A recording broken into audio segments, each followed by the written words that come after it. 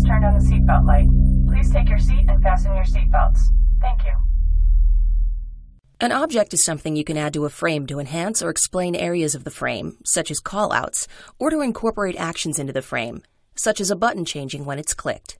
If you watch the video on recording movies, you know that you can set your recording options to add callouts, cursors, and typing box objects automatically as you create a new movie. Once your movie is created and you select a frame in that movie to enhance, you can use the Home ribbon and the local toolbar of the frame editor to add all kinds of objects to that frame.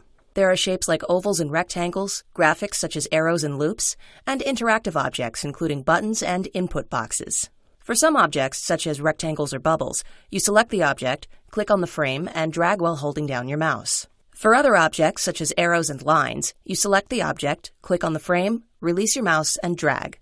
Then, depending on the object, you either click once or twice to finish. You can resize and move objects around as you need to.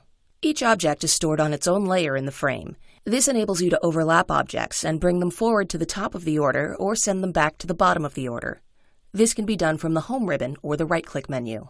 You can also rotate objects or align them on the frame. To change the properties for an object, just double-click it and a Properties window pane opens. For example, here's the Properties window pane for a bubble object.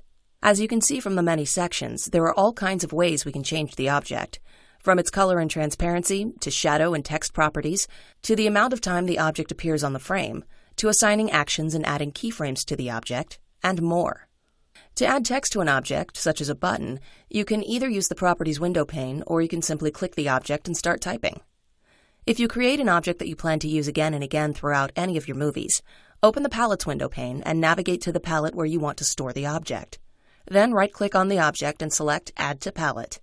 Then, whenever you want to use that or any other object from a palette, just double-click it and it's added to the active frame. For more information about objects, see this topic in the online help.